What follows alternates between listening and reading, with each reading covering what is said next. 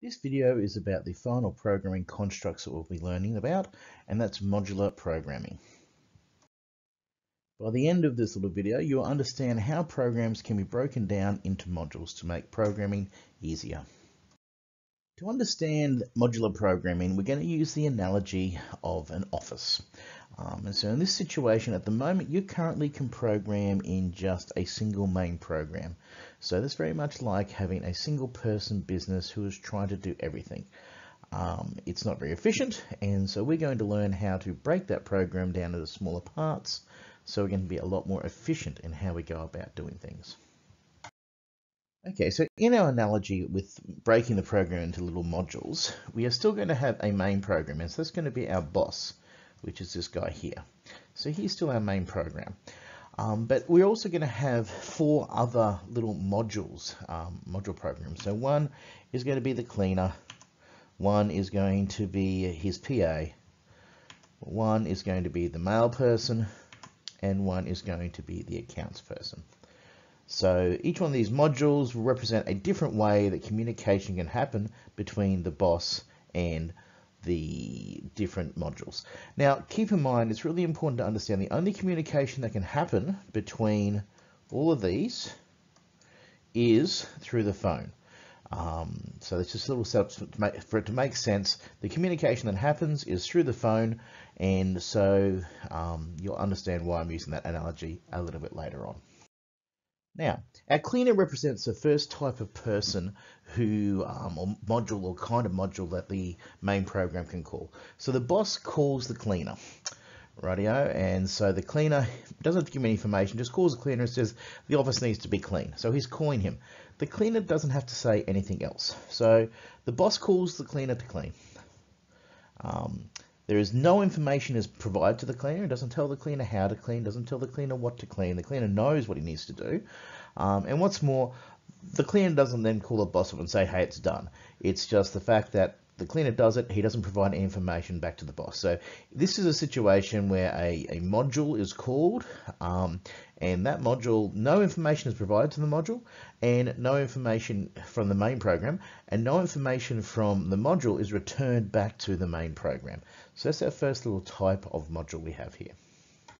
Now, the second type of module that we are dealing with here is the PA. Um, the boss calls his PA and says, um, I need you to send an email out to my clients, and this is what I want you to say on the email, and the PA sends the email out. So so in this situation, the actual boss does call his PA and says, send an email. The boss provides the PA with de email details, but no information is passed back to the boss. So there's information that passes from the main menu into the um, module, and but no information passes or is returned from the module back to the main menu. Okay, so now we have the third type of module. Um, this is one where the boss is represented by our mailman here. So the actual main program um, calls the mailman and says, have we got any mail? So the mailman comes up and then gives the mail to the boss here. So yeah, the boss still calls the postie to deliver the mail, um, but doesn't provide the postie with any information. Doesn't say deliver it to here or deliver any time. He calls it and says, "Can I have the mail, please?" Um, the postie rocks up and gives the mail to the boss. So the actual there is no information going from the main program into the module here, but there is information being passed from the module back to the main program. Now, our final example here is the accountant, where the boss rings up the accountant and says, can I have the report, please, for this the first quarter? Um, and then the accountant provides the, gets the information and then sends the report back to the boss. So in this situation, the boss calls the accountant for financial reports. Um, the boss provides information to the um, accountant saying this is what the actual quarter is for the reports. And then the financial report is right of the, for the boss. So the accountant provides the boss with information. So in this case, the main program passes information to the module and the module um, returns information back to the main program. Right, so why do we use modules? Well, to start off with, in relation to our code, it breaks our program down into smaller parts. Um, now in Python we call modules are called functions and so some ways it's actually good to sit there and think about well it's breaking it down into the little functions that are involved that, that make up the program. Um, why do we use it? Because well, they're useful for structuring your code, so you can actually um, understand the flow of information a lot easier. It's really important if you're repeating code a lot. It means that um, you can take that repeated code and put it into a module and call it whenever you want. Um, and it's fantastic for testing and troubleshooting because you can actually go about identifying or you can write some code in a, in a function in a module and you can run that module and see if that module works and if that module works you know then that's that that particular part works. You don't have to worry about going back and testing it.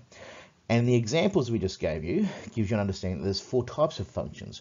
You have one function where no information is passed, which is when the information goes from the main program to the module or to the function, and no information is returned. And we use return to refer to information that comes from a function back into the main program. The second type is information is passed from the main program, but no information is returned back to the main program. Um, the third type is no information is passed from the main program, but information is returned from the function to the main program. And finally, the fourth type is that information is passed to the main program and also information is returned from the function to the main program. So here we are. This is what it looks like in an actual program. Um, you can see that we've actually, um, I've designated, I've put some comments in here to say this is a main program and functions can be identified because functions all start with the def um, keyword. So um, define, that stands define. Define this function, this is the function name here that we've got, give nothing, get nothing, and all the other ones. In here, inside the brackets, is where you pass information from the main program back um, into the actual function. Um, and then when you see something like this, return, return is where the um, function returns information back to the main program. So um, you can see these are the four different types of, of functions. So the one where you give nothing and get you pass no information from the main program, no information returned. This one, information is is passed, but no information is returned. This one, no information is passed, but something is returned. Um, and then finally, this one is where information is passed and um, no inf and information is returned. And you call them, and that actually is the right term. It's not just talking about phones. You do call functions by having their name and the brackets at the end of it. Um, if you are calling a function which has information you need to pass, you have to put something in there in the brackets. If you are also like down here, so it can be an integer or can be a string or whatever is required. Um, if you are um, have a function where information is returned, so it's got a returns in it, then you need to actually do something with that um, value when it comes back. In this case, in both of these cases, I am taking the value that gets returned and I am putting it into the variables here and storing them there.